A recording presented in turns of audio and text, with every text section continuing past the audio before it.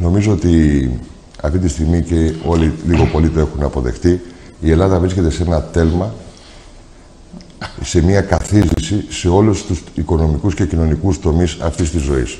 Είτε αυτό αφορά τους συνταξιούχους, είτε αφορά τους μισθωτούς, είτε αφορά τους μικρομεσαίους επιχειρηματίες, είτε αν θέλετε αφορά γενικότερα την ίδια την κοινωνία, ή το ήθος και τον τρόπο με τον οποίο η παρούσα κυβέρνηση ασκεί πολιτική, με αποτέλεσμα να βρισκόμαστε σε ένα αδιέξοδο. Έχουμε έρθει πάρα πολλά χρόνια πίσω. Εγώ θα σας έλεγα, δε με την εμπειρία μου, σαν δικηγόρος που ασχολούμαι με επιχειρήσεις και εταιρείες σε όλη την Ελλάδα, ζούμε πρωτόγνωρες καταστάσεις. Θα έλεγα ότι θα μπορούσαμε να τις παρομοιάσουμε με συνθήκες πολέμου αυτά τα οποία βιώνει η ελληνική κοινωνία, η ελληνική οικονομία, δεν έχουν γίνει, ε, δεν, μπορεί να, δεν μπορούσαμε καν να τα διανοηθούμε και να τα φανταστούμε. Μάλιστα.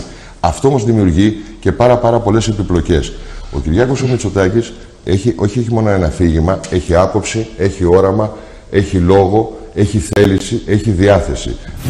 Ζούμε πρωτόγνωρες καταστάσεις, θα έλεγα ότι θα μπορούσαμε να τις παρομοιάσουμε με συνθήκες πολέμου αυτά τα οποία βιώνει η ελληνική κοινωνία, η ελληνική οικονομία, δεν έχουν γίνει, ε, δεν, μπορεί να, δεν μπορούσαμε καν να τα διανοηθούμε και να τα φανταστούμε.